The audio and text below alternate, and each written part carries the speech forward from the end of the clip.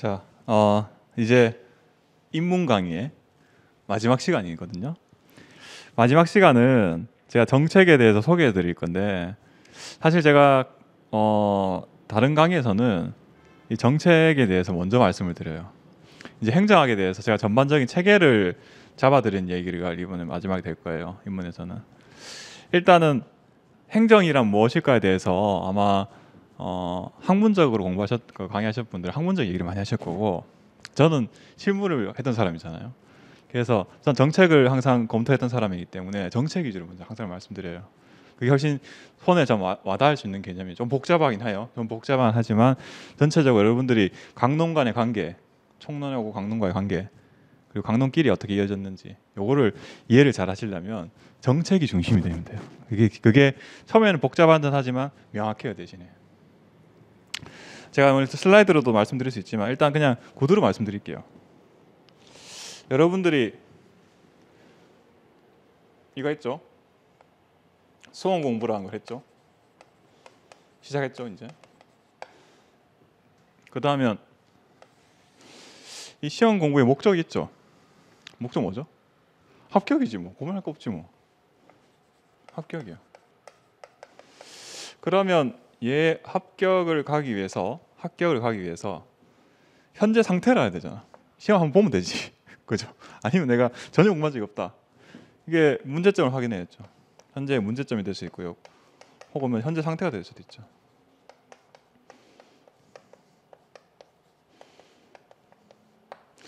그러면 문제점이 가장 중요한 기준이 이거예요. 문제점부터 이 목표를 정했어요. 그러면은 아 내가 합격하려면 현재 문제점 이거니까 어떻게 해야 될지 고민해야 되죠. 이 합격까지 가는 방법에 대한 고민해야겠죠. 그래서 내가 강의를 수강할지 좀 더 구체적으로는 올해 시험 봤는데 행정학이 부족하니까 행정학 공부를 할지 구체적으로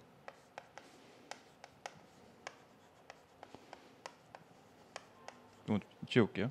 강의는 이제 행정학을 했으니까 또 아니면 강의 말고 아 나는 올해 독학을 한다.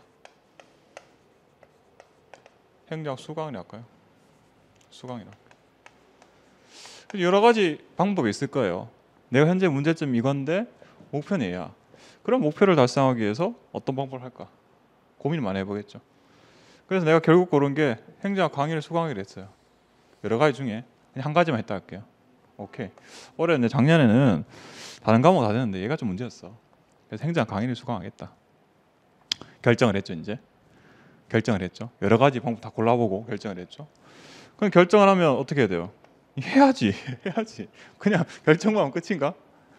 해야지, 어, 해야지, 응. 해야지 이제. 그 계획을 세웠으니까 계획도 계획대로 하, 해야 되잖아요. 근데 계획대로 하다 보면 우리가 항상 그렇죠. 이 계획을 구체적으로 아주 다 디테일한 모든 상황을 다 대비할 수 있나요? 안 되지. 공부하다 보니까 예를 들어서 아, 행정학 강의 수강하겠는데 누구 강의를 들지? 그러고 내가 아침 9시부터 10시까지 공부하기로 했는데 하다, 하다, 하다 보니까 3일 하다 보니까 죽겠는 거야. 계획, 계획은 아주 그래서 했는데 해보니까 쉽지 않네. 내가 도저히 9시까지 도서관 나갈 수 있는 사람이 아니야. 그럼 계획을 좀 바꿔야겠죠. 즉, 이 집행, 정책에 따른 집행이라는데 다 해보고, try를 해보고 수정을 가요, 수정. 계획 변경이지, 우리. 공부 계획 변경에 나와죠, 이제. 계획 변경을 하는 거죠. 자, 평가를 하죠. 해보고 평가받죠. 평가를 해보고 평가했더니 아 좀 별로인 건 개선해야 될 거고요. 좋은 거는 좀 더 하면 되는 거고 확대해서 평가하는 거죠. 자, 이게 우리가 좀 계획적으로 공부하면 이렇게 될 거예요. 이렇게 되죠. 애초에 우리가 수험 공부를 한다는 걸 결정을 했죠. 여러 가지 중에 내가 수험 공부도 할 수 있는데 이것도 할 수 있잖아요. 운동을 할 수도 있고 혹은 취업을 할 수도 있고 뭐 다른 내가 할 수 있는 게 여러 가지 있는데 그 중에서 수험 공부를 고른 거잖아요. 왜? 여러 가지를 동시에 할 수는 없거든요. 여러 가지를 물론 몇 가지를 고를 수는 있겠지만 수많은 선택지 중에 고를 수밖에 없잖아요. 왜? 우리는 시간이 한정이 돼 있고요. 비용도 한정이 돼 있잖아요. 내가 지금 이제 수험 공부 아 다른 거 하면 다른 거 할 수도 있겠죠. 근데 수험 공부를 할 수가 없죠. 그래서 선택하는 과정이 있었어요. 자, 이거를 이 똑같은 논리예요. 행정이랑 건 똑같은 논리예요.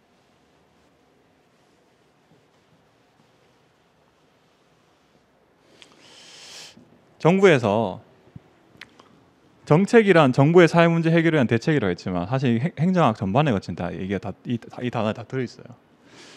정부에서 여러 가지 사회 문제가 있잖아요. 여러 가지 사회 문제가 여러분들처럼 어, 청년들한테는 취업 문제가 될 수도 있고요. 뭐 창업이 될 수도 있고 또 요즘 좀 괜찮아졌죠. 미세먼지가 될 수도 있고 너무 많죠. 엄청나게 많은 문제인데 또 아주 지역적으로는 지역 주민이 한 사람이 자기 집 앞에 도로, 도로 확장해 달래. 자기 집값 올라가야 되니까. 그렇게 할 수 있겠죠. 그런 것도 요구할 수 있잖아요. 요구할 수 있잖아요. 뭐 미, 요즘 국민청원 쉽게 할 수 있잖아요. 우리 집 앞에 뭐 해주세요. 뭐 청, 청와대 차원 아직 국가 차원이 그렇지만 동네 그냥 동, 그 동사무소 가서 요구하잖아요. 이런 것들. 내 보조금 얼마 받는데 더 달라고 얘기할 수도 있잖아요. 아주 많은 그 규모나 어떤 사이 그 규모나 아니면 정도에 따른 다양한 사회 문제가 많아요. 정말 많아요. 그러니까 정부가 다 해결할 수 있나요? 다 못하죠. 요즘 그말 많이 듣잖아요. 기사 들어보면 아 요즘 뭐 인력이 부족해서 그 대응을 못하겠다. 그 불법 주정차 그렇게 사회 문제잖아요. 불법 주정차도 사회 문제 그리 많은데도 아그 그 부족해. 그거 단속 인력 부족해. 각종 그런 민원인들의 어떤 언론에 나올 때마다 공무원도 볼멘 소리를 하잖아요. 우리가 인력이 부족하다. 그러다 보니 결국 어떻게 되냐면 경찰도 마찬가지일 거예요. 경찰도 아주 뭐 경찰의 업무긴 한데 강력 범죄 위주로 갈 수밖에 없을 거예요. 개축도 분명히 조직이 한계가 있으니까. 뭐 살인범 나는데 뭐 잡으러 가야지 그 사람 잡으러 가야지. 아니 뭐뭐좀 분실물 찾아주고 뭐 이런 거는 물론 다 중요한 일이긴 하죠. 근데 그걸 다 그- 거기에 에너지를 쏟을 만큼 여력이 안 된다고요. 여력이. 돈도 없죠. 예를 들어서 이거 돈도 재- 재원 특히 재원도 제일 중요하거든요. 재원 재원도 한계가 있죠. 어떤 데서는 공항 건설해 달래. 저기 어디 지금 어? 지역에서는 또 어떤 데서는 도, 그 고속도로 넓혀 달래. 돈은 세금은 한계가 있는데 그 지어줄 수 있는 요구하는 건 훨씬, 훨씬 많겠죠. 그죠? 자 그러면 결국은 정부는 뭐 해야 되냐면 그 골라야 돼. 결국 그 중에서 여러 가지 사회 문제 중에 일부를 고를 수밖에 없어요. 다 못해 해결 안 돼. 자 이거요 과정을 정부 이제 설정 과정. 그래서 정책 초반 여기나 여기나 여러 가지 문제 중에 하나 골라보자. 하나 여러 개 여러 개 되게 하- 해결할 수 있는 것만 고르자. 우리 다 하지 말자. 다 못해 정부는 능력이 안 돼. 시간도 없고 돈도 없기 때문에. 그러면은 골랐어요. 그 마- 수많은 게 고른 문제 중에 예를 들어 요거 할게. 미세먼지 저감하자. 미세먼지 문제 심각하다. 그래 미세먼지 문제 해결하자. 이게 미세먼지 뭐 미세먼지 이거 할게 문제로 할게. 미세먼지 문제가 정부가 해결하기로 이제 결정했어요. 이거 이거 해결해 보자 결정을 했어요. 해결하려면 똑같아 아까 똑같아.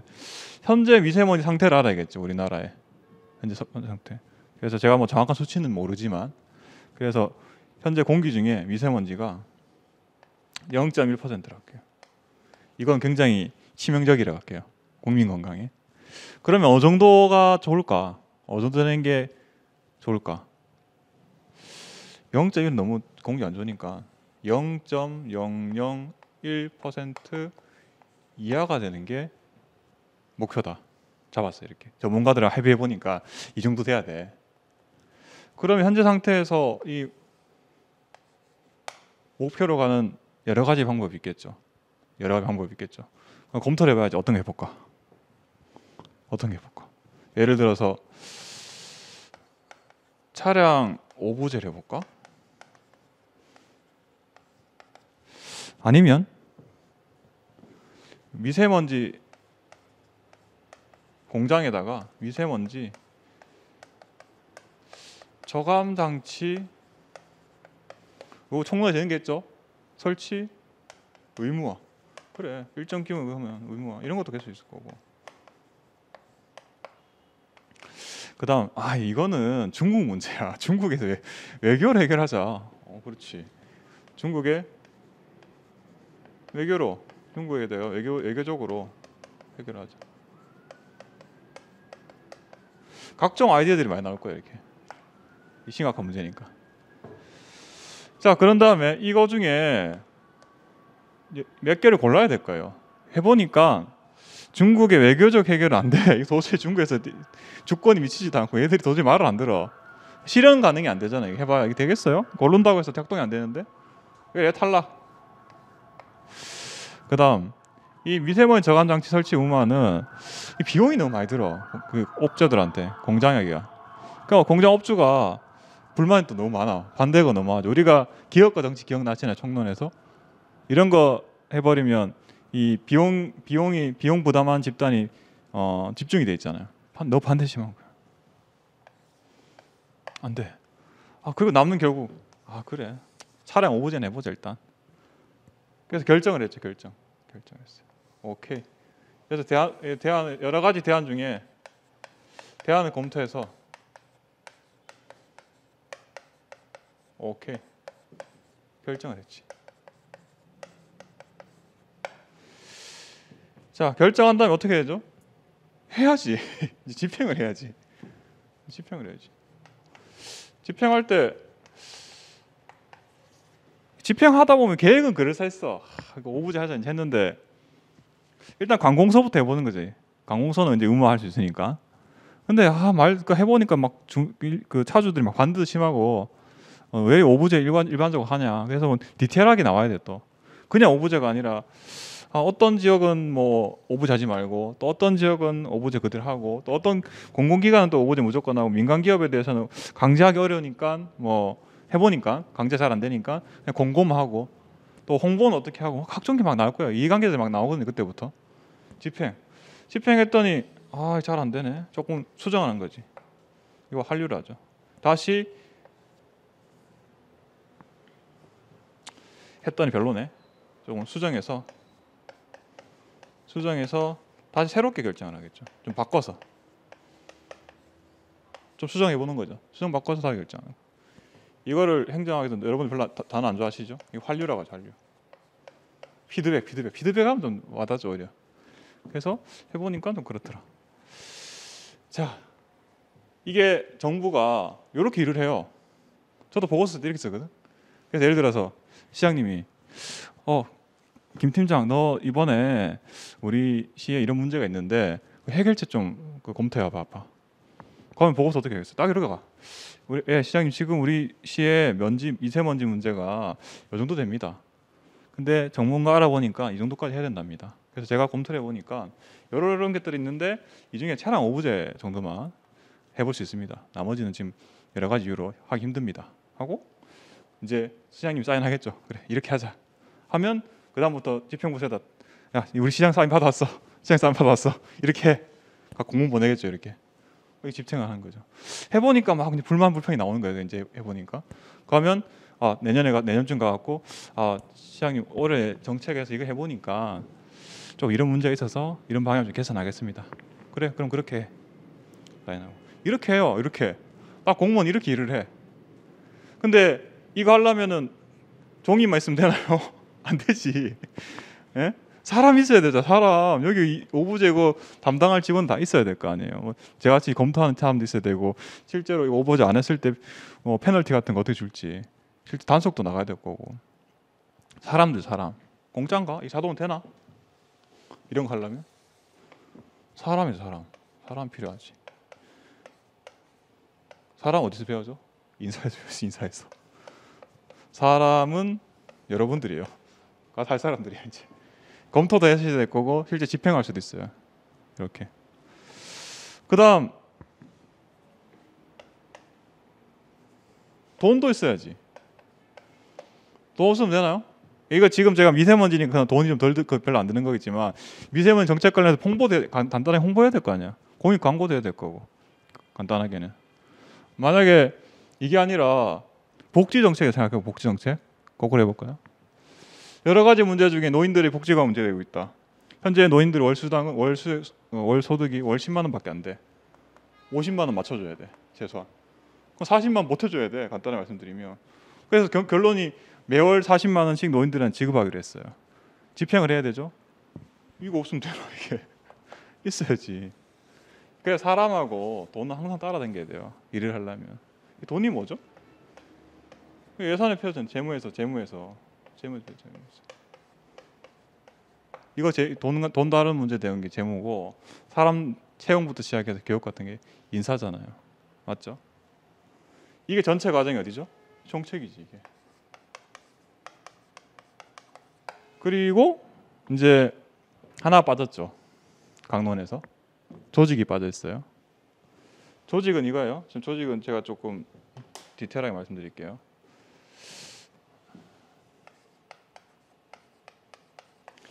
지우고요 여기만. 조직은 뭐냐면 우리가 인사혁신처라는 조직이 있어요. 중앙인사관장기관으로 인사혁신처의 목적이 목표가 뭘까요? 이 조직의 목표가 뭘까요? 간단하죠. 저도 정확하게 몰라. 인재 채용이겠지 뭐. 안 그러겠어요? 여러분들처럼 채용이 목표잖아. 인재 채용. 그리고 공무원들 교육. 뭐 이런 게 얘들의 공식적인 목표일 거예요. 근데 이 목표를 달성하기 위해서는 누가 달성을 하죠? 여기 있는 사람들이 달성해야 되잖아. 누가 일하냐? 인사 혁신처 직원들이 분명히 일할 거예요. 맞죠? 맞죠? 근데 이 사람들이 가만히 냅두면 이렇게 일하나? 안 하지. 유튜브 보지. 넷플릭스 보고. 안 그랬어요? 그죠? 그래서 어떻게 하면 이 개인을 잘 구슬려서 이 조직 목표에 맞춰서 일을 하게끔 하, 할까에 대한 연구가 필요하죠. 첫 번째 게 이거예요. 동기부여예요. 동기부여.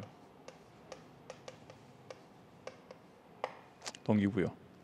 그래서 경제적 보상을 줄 수도 있고 아니면 자기 이제 어 인간관에 따라 달라지는데 이 동기부여 방법이 이렇게요. 우리 그냥 여러 가지 이론 중에 X론적 인간관이 있고 Y론적 인간이 있어. X론적 인간관은 일을 하기 싫어해. 누가 이렇게 공부하기 싫어하니까 너 스파르타판 이거 그거잖아. 공부를 기본적으로 하기 싫어하니까 내가 내 스스로 내 돈을 내고 강제로 지금 들어가는 거잖아요. 나도 X 이론적인 관점이라서 이거예요. 동기부여 마찬가지예요. X 이론적 관점은 일을 안 하니까 관리 감독하면서 보상 성과금 주는 거예요. 일 시키려고. 실제 우리나라 보수 체계가 X론적 돼 있잖아요. 근데 Y론적 관점 뭐냐면 일을 하기 싫어하는 게 아니야. 일을 하고 싶어 해. 기본적으로. 자기 발전을 위해서. 그렇기 때문에 이때는 관리 감독하는 게 아니라 어떻게 하면 되겠어요? 권한 위임해주고 참여시키면 되는 거예요. 네가 직접 해. 할 수 있도록 권한 자유를 권한을 많이 주는 거죠. 그래야 자기가 내 자아를 실현하기 위해서 열심히 일을 할 거 아니에요. 자, 이 동기부여 방법이야. 가서 각종 이론들이 나오죠. 어떻게 해서 잘 구슬려서 결국은 여기 목표 맞출까? 두 번째는 뭐죠? 리더십. 리더십이 조직론에 왜 들은지 아세요? 혹시 지금 시간 오신 분들은 한 번 정도 행사 들었다 하시니까 조직론에 보면 리더십 파트가 있어요. 왜 있을까요? 똑같아요. 목표는 얘야. 다른 생각 안 해도 돼. 뭔가 길을 잃었다 싶은 조직에서는 조직 목표 달성을 위한 방법이에요. 그러면 동기부여는 뭐냐면 그, 그 조직 구성원 개개인한테 어떻게 어, 동기부를 잘 시켜서 일을 시킬까에 대한 문제라면 리더십은 리더가 리더가 조직 구성원을 어떻게 잘 구슬려서 조직 목표 달성을 시킬까에 대한 이야기예요. 이해되시나요? 그래서 뭐 카리스마적 리더십 나오고 뭐 각종 뭐 상황 적합 리더십 복잡한 리더십 쭉 나오잖아요. 결국 최종 목표는 조직 구성원을 잘 구슬리는 방법에 대한 이야기예요. 리더 차원에서 조직 개인 차원이 아니라 리더가 어떻게 하면 조직 구성원들이 이렇게 행동하도록 만들까에 대한 이야기예요. 그리고 하나 더 있죠. 큰 카테고리가 조직 구조 관점이에요. 뭐 이론을 얘기 드리는 것보다 여기 좀 쉬울 거예요. 다섯 사람이 일을 해요. 다섯 사람이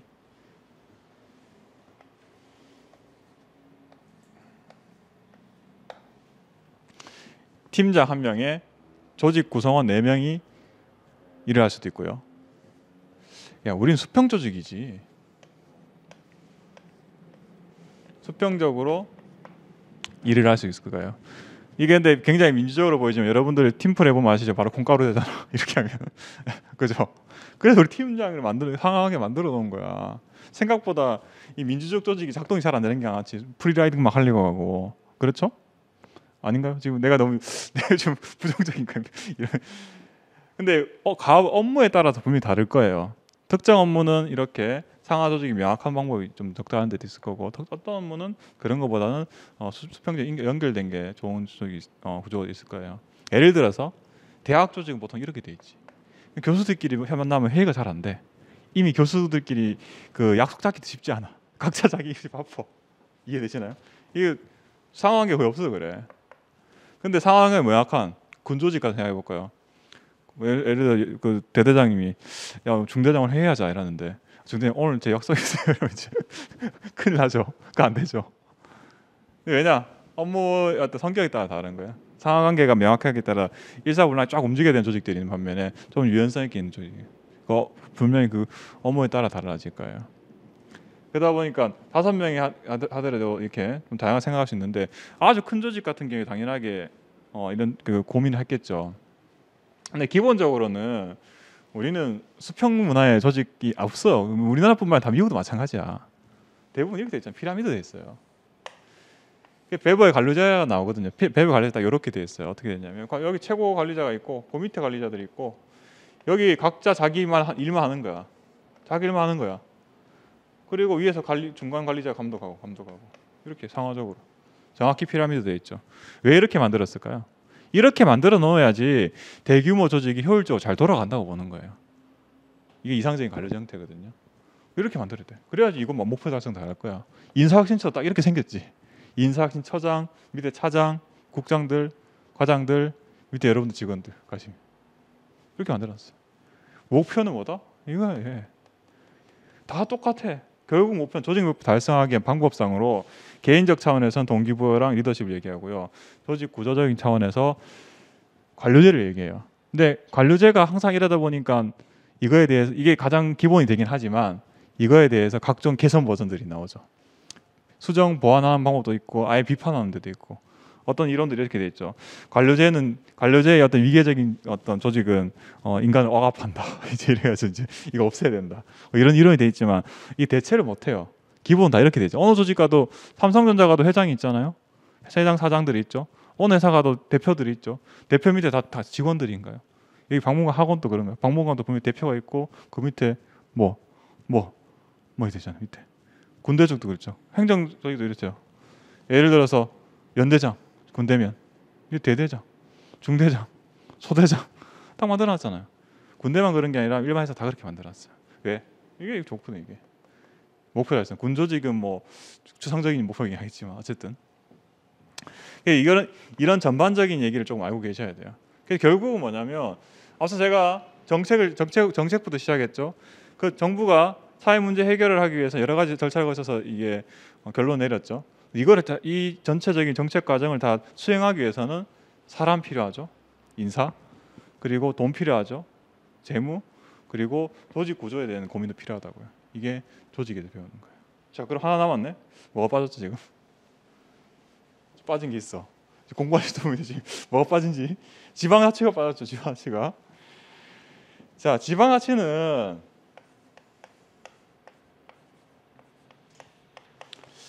지방 하체는 똑같아요. 제가 이때까지 말씀드린 내용- 내용 들이 있죠. 정책부터 시작해서 조직, 인사, 재무 내용이 지방적 차원에서 이루어지는 것들이에요. 다 사이즈만 줄어드는 거야. 사이즈가 줄어들고 관심의 영역이 마- 다른 거예요. 관심의 영역만 좀 달라지죠. 예를 들어서 이 행정 다른 강론에서는 국가 차원에서 얘기를 하거든요. 정부 차원에서. 근데 지방자치에서는 지방자치단체 작은 차원에서 다루는데 작기 때문에 공통점보다 뭐냐 그 차별 차이점 위주로 조금 얘기가 많이 진행이 돼요. 국가랑 다 있어요. 다 있어. 물론 지방에도 여기 말했던 인사시험 다 있지.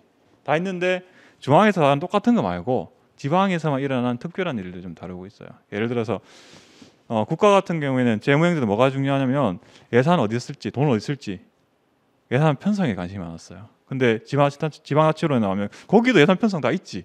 근데 거기 관심 있는 그게 관심 있는 게 아니라 주로 관심 영역은 부족한 지방의 재원을 어떻게 메꿀까에 대해 관심이 많아요. 주제가 다르지. 그래서 관심 영역이 그리고 또 국가 차원에서는 주민이 직접 참여할 수 있는 여지가 거의 없잖아요. 인구 5천만 넘는데 거기에 내가 의견, 의견 하나 못했다고 했을 때 무슨 도움이 되겠어요? 내한테 차라리 우리 동네 말 그 동사무소 가서 우리 집 앞에 쓰레기 좀 치워주세요가 훨씬 내한테 효과적인 일이 될 거예요. 이해되시나요? 그래서 주민 직접 참여가 중요한 내용이 되는 거예요. 참고로 내년에 1월 13일 기준으로 지방자치법이 전부 개정돼요. 전부 개정. 전부 개정되면 내용이 다 틀어져요. 과거에 출제됐던 문제들도 정답이 다 바뀌어요. 정답이 없거나. 그래서 그 내용도 여러분 잘 기억을 하셔야 돼요. 네, 가장 큰 이슈고 최근 이슈가 뭐 있었죠? 자치 경찰제가 본격 도입했어요. 7월 올해 올 7월부로. 그 자치 경찰제 관련된 문제도 여러분들 좀 알고 계셔야 돼요. 그 문제들은 제도는 계속 바뀌어요. 시험 전까지 계속 바뀔 거예요. 조금씩. 근데 그 내용은 시험 직전 한 한두 달 전에만 확인하시면 돼요. 그 내용은 제가 다 정리될 테고 많지가 않아. 되게 와 바뀌니까 되게 걱정하시면 많더라고요. 어, 내년에 다 바뀌는데 어떡하냐고 하는데 그 내용 바뀐 내용이 해봐 제가 말씀드릴 내용이 30분이 채 안 돼. 그래서 시험 전에만 2, 30분 잠깐 보시면 제가 본명 내용 관련해서 다 정리해 드릴 거예요. 많지가 않아요, 생각보다. 자, 그래서 이렇게 쭉 이제 전체 거, 과정 거쳐서 행정학이 이렇게 이루어져 있어요. 그러면 이제 다시 이 질문이 나오죠. 그럼 총론은 총론은 여지껏 제가 인문 때 총론은 뭘 달았냐? 나머지 강론들은 행, 행정부 내부적인 얘기예요, 주로. 주로 행정부 내부적인 이야기잖아요. 사람 쓰고 돈 쓰고 조직 구조 어떻게 만들고 정책 어떻게 만들어내고 지방자치단체에서는 어떻게 하고. 총론은 행정부 정부 내부적인 얘기보다는 정부와 외부로 관계가 많아요. 정부가 행정 서비스를 직접 제공해야 되냐 아니면 시장이 제공하냐. 보통 외부지 시장이라고. 그리고 정부가 추구할 가치 행정이 추구할 가치 이런 것들 있죠. 행정 역사. 다양한 주제를 다루는 거죠. 주로 외적인 얘기가 많아요 그렇기 때문에 잡당에 다 들어오는 거예요. 총론에서는 그 길을 잃으시면 안 되는 거죠. 자. 그러면 제가 여, 여지껏 했던 얘기를 여기 그림으로 그렸어요. 이렇게. 글로 썼지만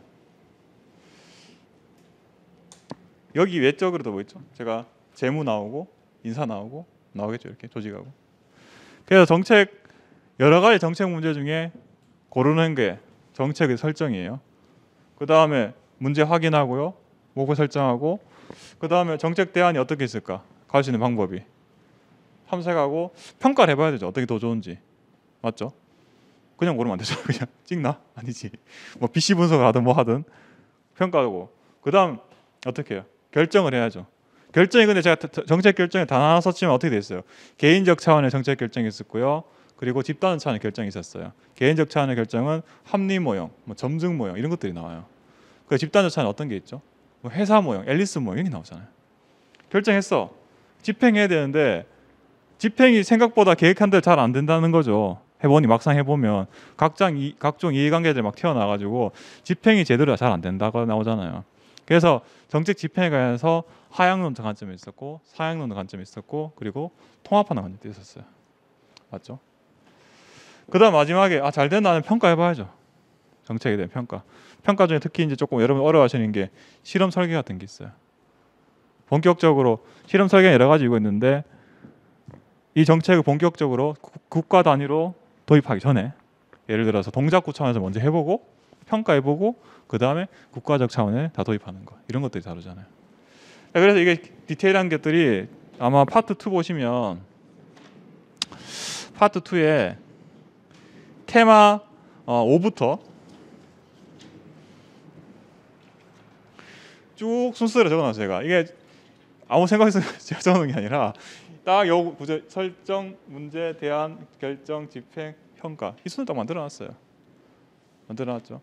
그리고 앞에 있는 건 뭐냐? 정책에 대한 전반적인 개요에 대해 설명이 되어 있는 거예요. 앞에 내용이. 그래서 정책의 종류가 어떻게 부, 구분되냐, 그죠? 앞에 보시면 그리고 이제 학자별로 정책을 불, 수단을 분류한 방법도 있었고요. 그리고 테마 1을 보시면요.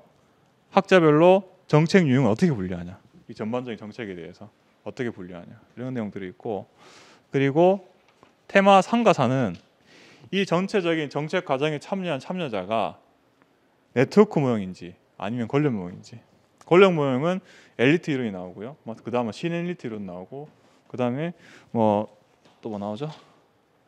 다원주의, 뭐 조합주의 이런 것들 쭉쭉 나오잖아요, 그죠?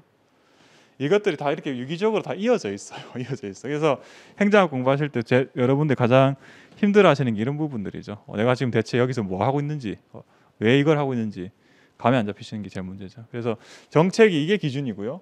이게 정책에 대해 다룬 내용들이고 여기를 이게 제일 작동이 실제로 작동이 되게 하기 위해서 서포팅 되는 것들이 인사, 재무, 조직 이런 거 딸려 붙는 거예요. 이걸 잘 인지, 인지를 하시고 이제 앞으로 공부를 하셔야 돼요. 하셔야 되죠. 자, 그래서 시간이 좀 남으니까 제가 조금 더 추가로 더 말씀드릴게요. 복습이에요, 일종의. 그래서 이게 제가 정책 의사 설정이 아까 말씀드렸죠. 그래서 시간이나 예산 제약 등으로 해서 문제들 중에 일부만 선택된다. 다 안 된다. 그죠? 수험생들은 시험 공부나 운동, 아르바이트, 뭐 취미활동 다 할 수 있어. 단지 시간이 없을 뿐이지. 돈도 좀 없고요. 그 고르는 게 필요하고 정부도 마찬가지예요. 미세먼지, 전염병, 코로나, 청년 실업, 노인 빈곤 다 이 문제가 되는 거죠. 그중에 고르는 거. 정책의 설정. 문제 문제는 제가 워낙에 좀 큰 문제끼리 썼기 때문에 다 하고 있긴 해. 근데 아주 세부적인 것도 빠지겠죠. 실제로. 그래서 이렇게 정책 문제를 확인하고 목표 설정하고 어떻게 할 건지 고민하고 그죠? 그 예를 들어 이렇게 나왔죠 제가 현재 내가 행정하기 50점이야 지금 50점 하시면 50점 50점인데 목표는 한 90점 받아야 돼 그럼 어떻게 할까? 강의 수강할까? 기출 문제 풀이할까? 쭉 고민한 다음에 검토하고 평가해서 오케이 강의 수강하자 정부도 이렇게 했죠 제가 미세먼지가 0.01%다. 근데 목표는 0.001% 이하가 돼야 된다. 그러려면 고민해야겠죠. 정책에 대한 탐색과 평가. 차량 이부제 쭉 해봤더니 평가해 보니까 차량 이부제 가장 낫더라. 이거 해야지. 결정하는 거지 이제. 그래서 이렇게 결정한 대로 이제 끝나는 게 아니라 집행 과정이 중요한 거죠. 그러니까 여러분들은 수, 이제 강의 수강에서 강의 수강을 이제 그 계획들을 하는 게 강의 수강이 되는 거죠. 집행이 되는 거고 정부 같은 차량 이부제 하는 게 실제로 집행이 되는 거예요. 맞죠? 그래서 얘기하는 거죠. 목표가 잘 충족됐나? 강의 수강했는데 행정 강의 수강했는데 아 망했어. 점수 안 나와. 강의를 갈아타야 되나? 아니면 내가 다른 문제 해야 되나? 이거 한류가 필요한 거죠, 그죠? 그리고 정부도 마찬가지고. 야 차량 이부제하니까 미세금 저가면 안 돼. 바꿔봐야지 뭐 어떻게 하겠어. 잘 되면은 더 하면 확대하면 되는 거고 잘 안 되면 어떻게 해요? 다른 걸 해보는 거죠. 자, 그 전반적인 과정에 대해서 이렇게 어, 절차가 진행이 되는 거예요. 각 테마별로 이제 역할 관계들이 있고 그리고 제가 말씀드렸죠 이 전체 그 전반적인 과정에 참여한 사람들이 있어요. 공무원만 참여하나? 아니죠. 예를 들어서 우리가 이 제가 뭐 이런저런 말씀 안 드려도 마찬가지예요. 중요한 정책에 대해서 토론회 같은 거 하잖아 TV에서 누구 나와요? 잘 보시면 생각해 보세요. 멤버들이 학자 나와 대학 교수 미세먼지 얘기 다 하고 또 정부 관료 나와 맞죠? 어디 뭐 환경부 어디 국장 이렇게 앉고 그다음 또 정치인 또 이렇게 주로 앉고 그다음 환경단체 이렇게 앉아 전문가들 딱 보면 저 멤버가 정해져 있어 가만 생각해 보시면 여기 이해관계자들이 있어요 이렇게 이렇게 그래서 이런 정책 전반에 가서 공식적인 참여자들은 누구냐면 공무원들이야 여러분들 헷갈리실 필요 없어요 여기 과정에 전반적으로 참여는 공식적인 참여자들은 공무원들이에요. 그래서 행정부 여러분들 입장에서 행정부 공무원 당이 되지만 입법부나 사법부 소속 공무원들도 당연히 가능해요. 다 공무원들이죠. 입법부 누가 있죠? 국회의원. 국회의원은 정당 소속이긴 하지만 공무원들이에요. 공무원으로 들어와요. 여기 있죠, 정당. 여기 있잖아요. 그래서 아 정당 소속이니까 혹시는 이제 아 국회의원들은 어, 비공식 참여자가 아니냐라고 착각하시면 안 돼요. 공식 참여자죠. 여기 위로 올라가요. 사법부 공무원, 판사들. 그다음 비공식 참여자는 공무원들이 아닌 사람들이잖아요. 정당이나 이익단체, 전문가, 언론, 시민단체들. 그러니까 주가의 주요 정책을 가지고 굉장히 이 사람들이 참여를 많이 해요. 예를 들어 요즘 부동산 정책에 대해서 말이 많잖아요. 그럼 누가 나와요? 여기 다 있어 보면 특히 행정부 공무원들, 국회의원들도 얘기를 하죠. 사법부는 아직 얘기 안 하고 있어. 그죠? 근데 정당 이익단체 다 얘기하고 있고 그다음에 전문가 집단도 부동산 전문 어디 교수 나와가지고 얘기하고 그다음에 언론에서 계속 연일 얘기하고 있고요. 시민단체도 마찬가지 얘기를 하고 있어요. 자 그래서 보시면 정책 참여자들의 관계도 있죠. 그래서 엘리트 이론은 소수 엘리트 다 주도한다 정책 과정을. 다원주의는 다양한 이익 집단 간의 경쟁을 한다. 이익 집단 중에 애, 애, 그 이익 단체, 어, 이익 집단 예시가 쉬운 게 뭐죠? 변호사회, 세무사회, 각종 해들이죠 해 모임들. 자, 그 왜 만들었어? 그냥 심심해서 친목 단체인 거 아니잖아요. 자기들의 이익이 이득이 정책에 반영되기 위해서 만들어 놨잖아요. 우리가 로비란 말을 쓰죠. 로비란 말 쓰죠. 그래서 변호사에서는 변호사들의 어, 영업이 좀 더 확대되는 이익에 부합하는 방향으로 정부 정책에 반영하려고 이 노력을 하잖아요. 그죠? 그럼 공인중개 사회 많죠. 그래서 보통 의사회 예전에 의사회랑 한, 약사회 한 붙었잖아. 지금 이 과정이 이래됐지만 이런 이익지자 단체 간에 경쟁을 한다. 다 경쟁한다는 말은 자기 이익에 부합하도록 정책에 영향을 미치려고 하는 거예요. 그죠?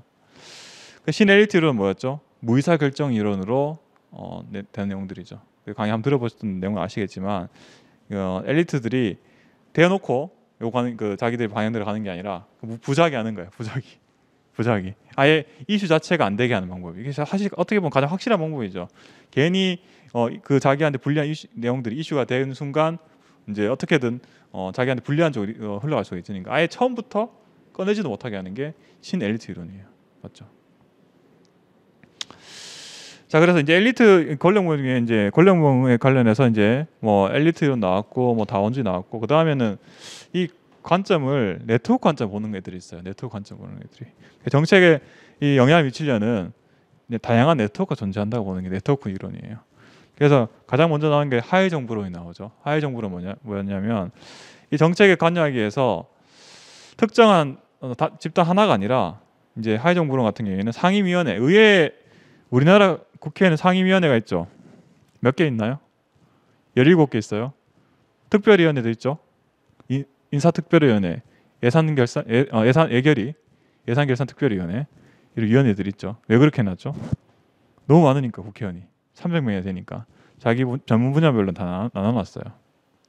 그래서 하위 정부론이 뭐냐면 이 상임위원회하고 관련된 정부 관료가 있죠. 예를 들어서 국토교통상임위원회 있다 칠게요. 거기에 관련 소속된 국회의원들하고 그 다음에 정부 관련 누가 있어요? 국토교통부 관련 공무원들이겠죠. 이 공무원들하고 그리고 이익 집단 누굴까요? 자동차 회사겠지. 아니면 뭐 공항 회사든가. 얘들끼리 잘 뭉쳐가지고 정책 과정을 다 주도해 나간다고 보는 거예요. 밖에 밖에 사람들 다 필요 없고 우리끼리 잘해서 이렇게 어 우리 이득에 부합되게 각자 이득에 부합되게 어 서로 이해관계 맞으니까 작동한다는 거죠. 그래서 하위 정부론을 다른 말로 뭘 하죠? 철의 상각.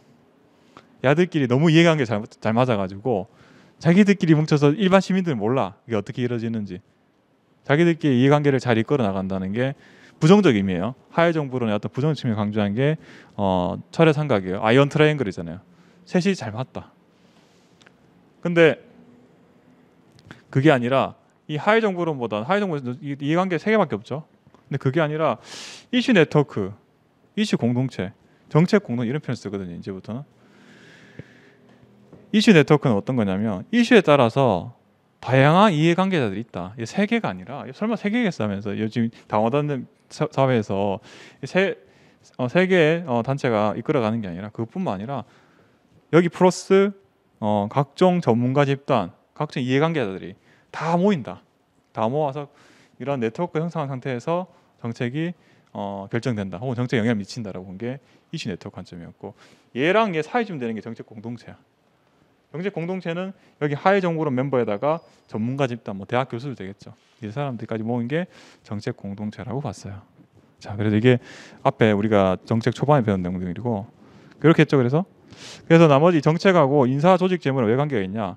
인사는 여러분들이 여러분들이죠. 이런 정책 과정을 전반적으로 실무를 담당한 공무원을 채용하고 관리하는 거예요. 그리고 조직은 이 정책 목표 달성을 위한 리더십이나 효율적인 조직 구조 아니면 동기부여 이런 거 다뤘고 그 재무는 당연히 재정 관리가 되죠. 제가 예산 때도 제가 계속 말씀드리겠지만 정부에서는 예산이 없으면 아무것도 못 해요. 내가 도서관 지기를 결정, 결정했어. 돈 없대. 뭐 하자고? 뭐 안 되잖아요? 안 그래요? 다 뭐, 모든 일이 다 마찬가지예요. 예산이 항상 수반돼야 돼요. 근데 거꾸로 생각하면 그 사업에 예산을 배정 쓰기로 했다면은 그 사업 하기로 한 거야. 예를 들어 도서관 200만 쓰기로 했다. 그럼 도서관 사업을 하는 거야. 이해되시나요? 그 정책을 결정하는 거하고 예산을 배정하는 거 항상 묶어, 묶어져 있어야 돼. 근데 이게 예상외로 여러분들이 입직하셔서 어, 실수를 많이 오히- 오히려 이제 다른 그 고위직들도 이런 걸 좀 많이 실수를 해요. 실수라기보다는 사실은 외면을 하는 거지. 이런 거예요. 막 그 그 동작 구청에서 구청장님이 공약을 막 내는 거야. 뭐 동작구에 뭐 설치하고 뭐 하고 뭐 하고 뭐 하고 뭐 하고 뭐쫙 얘기하잖아요.